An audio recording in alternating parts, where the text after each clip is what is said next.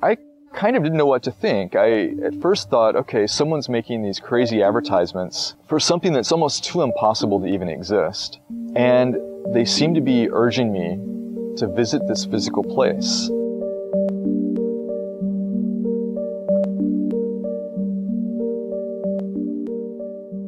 You now sit in a satellite induction office of the Jejune Institute, located in the deep forests of San Francisco.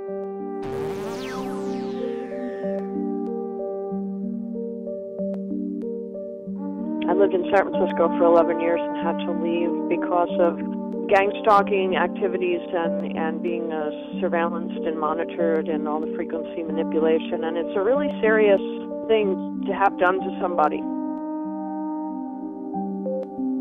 I, I saw a way to play that was entirely new, and them treating it like a game offended me. And at that moment, it really didn't feel like a game anymore. It, uh, it was genuinely scary, yeah. There was uh, moments where, you know, the ordinary world was transformed into something different, something full of potential and full of mystery and everything outside seems better. Like the colors are brighter or the world looks like a different place. And I wanted to keep feeling that way.